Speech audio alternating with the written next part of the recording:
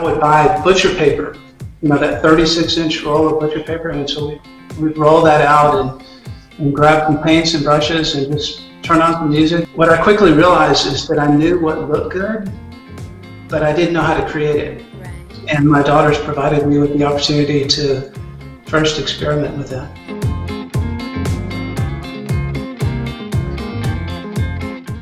Hey Larry, Hi, how's it going? Good. How's Chattanooga? It's good. Where are you exactly? Uh, we live in Sewanee. So if you left Chattanooga and headed to Nashville and you go up over the Cumberland Plateau, Yeah. Is Sewanee like a campus city? I definitely wouldn't call it a city. Um, it is it is indeed a campus town, though. Yeah. So when all the students are on campus, you know, our population at least doubles. It always reminds me of uh, Harry Potter when I go up there. I've been to the campus a couple of times. It's always foggy no matter when you go.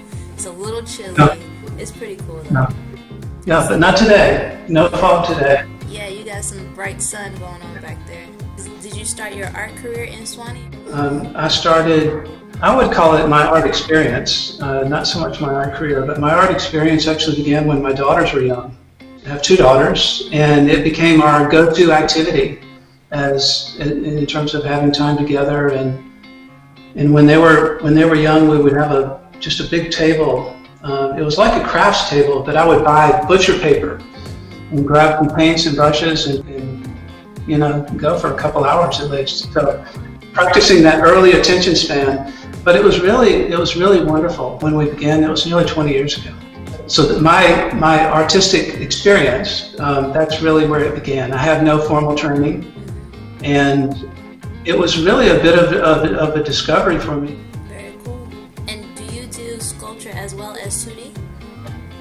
I do, I do. I, I started painting um, uh, using oil, oil paints, and then now I primarily use uh, wax pastel and acrylic and ink and some oil.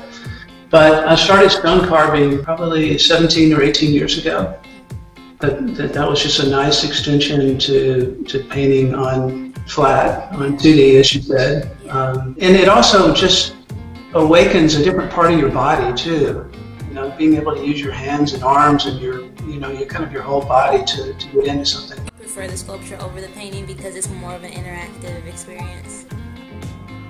Hmm. I really don't. I, I, I kind of go through modes in time. Like right now, I'm sculpting a lot, and I finished like I finished uh, about five pieces in the past two weeks. I started them well before, but I, so right now I'm in a carving mode. But I- it's almost like cycle. And what I'm noticing now is that I'm starting to tie the two together. So even though I, I carve, I, I do a form of carving called direct carving. So I just will start with a block or a boulder, and I'll just work it until something emerges. And then, uh, and really my painting is like that too. But I'm noticing patterns.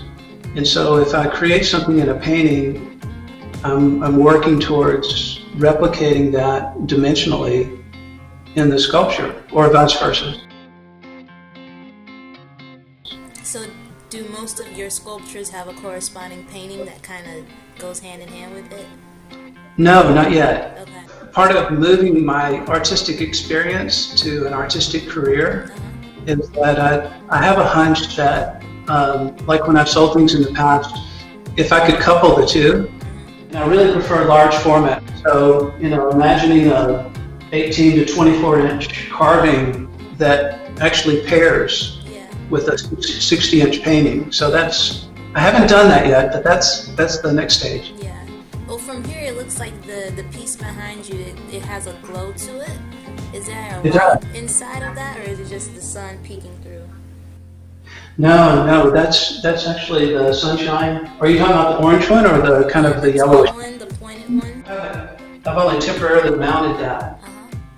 So this is this is actually orange alabaster. So the sunlit was backlit, but it's translucent. And if you carve it thin enough, then that light just creates a, a beautiful, wonderful glow. So you can Yeah. And alabaster is a type of stone. It is. It is. So it's a softer stone. In comparison with marble, which is harder, the marble, you know, where you've seen statues and busts and things like that. So this, this is, you know, you're not going to have that translucence. The light is going to permeate. So the alabaster is softer and easier to carve and goes a little bit faster than something that's harder like uh, marble is. And marble is shinier, right?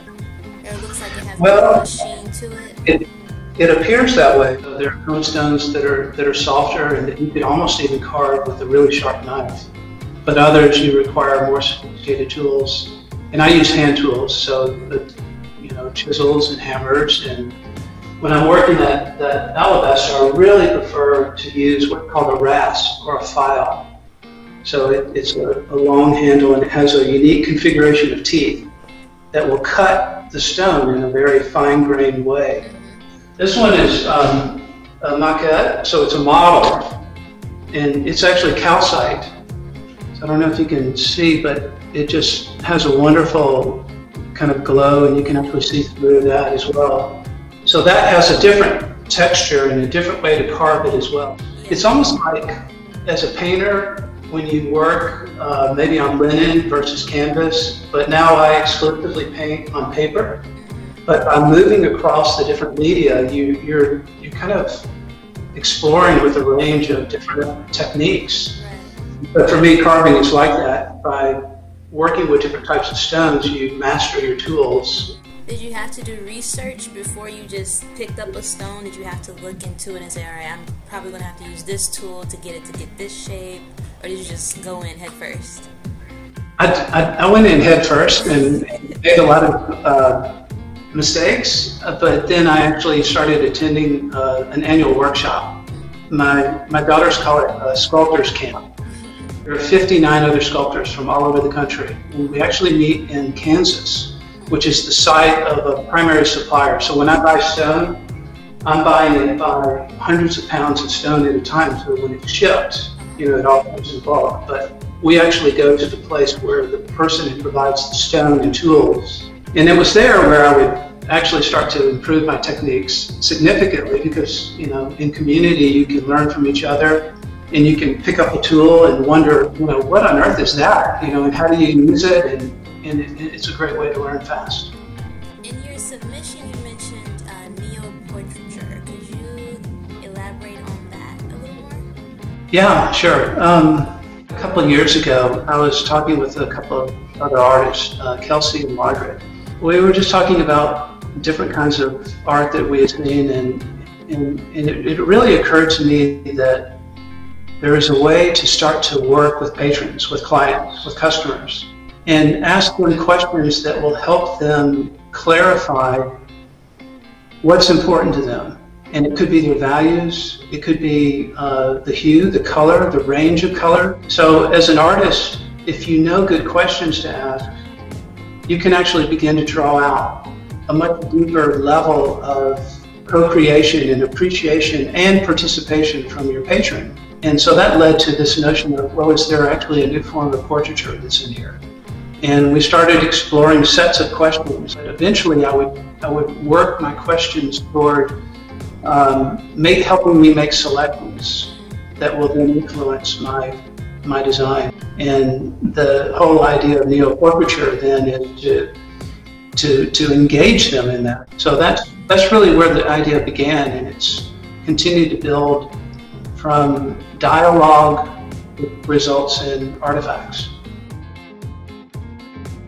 So you ask about work in progress, and this is this is a piece that I'll finish um, next week. So it, it's I've been carving it probably for a couple months. It's it's a little bit heavier and taller than the rest, and it's mounted vertically. And this is uh, alabaster, so it, it was uh, sourced from a quarry in Utah. But I direct carved it, and then I'll just finish the center. And then it'll go through um, the finishing stage, which takes you from about 60 grit up to 3,000 grit. So I'll, I'll finish all that by hand, and it'll end up with more of an appearance like what you saw in that one piece. Well, I really appreciate your time and you breaking down your process. It was really interesting. Thank you, and thank you for your service and reaching out to creatives. It's it, it's just so welcomed and so important for right now. I appreciate Thank you. it. We're happy to do it. Talk again soon. Yes, take care. Okay, bye bye.